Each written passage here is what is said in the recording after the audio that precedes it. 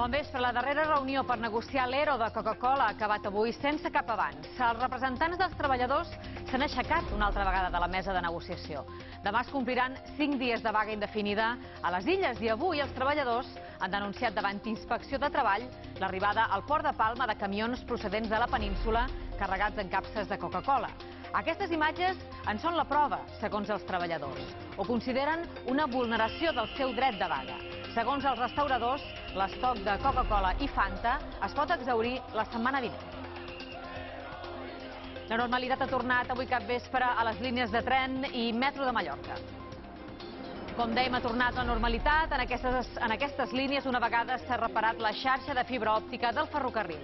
L'avaria s'ha localitzat entre l'estació d'Enllaç i Llubí i ha causat retards en pràcticament totes les línies. 20 operaris han recorregut totes les vies per mirar de trobar el punt exacte que ocasionava problemes. S'han trobat tres cables de fibra òptica tallats. L'actor Alec Baldwin dona 62.000 euros a la Fundació Rana, que treballa per a la prevenció de l'abús infantil a les illes.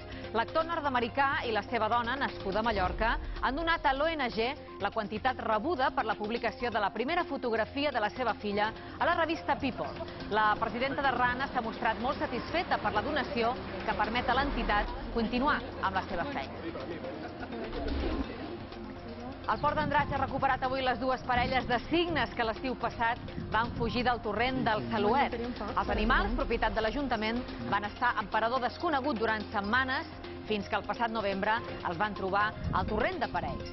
Avui, i després d'uns mesos de recuperació, els cignes han retornat al poble. Febrero de 1941.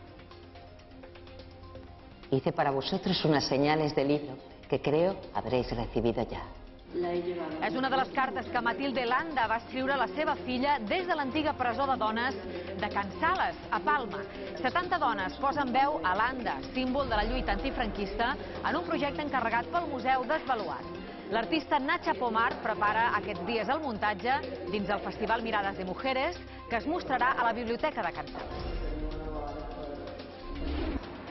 I demà és Sant Valentí i us hem preparat algunes propostes perquè no us agafi desprevinguts. Si voleu sorprendre la parella, podeu convidar-la a sopar entre taurons. Per endolcir encara més aquesta data, a partir de 2 euros, podeu regalar un cupcake amb dedicatòria. I si no teniu temps de pensar massa, les flors segueixen sent un clàssic. Després dels esports, us ho contem.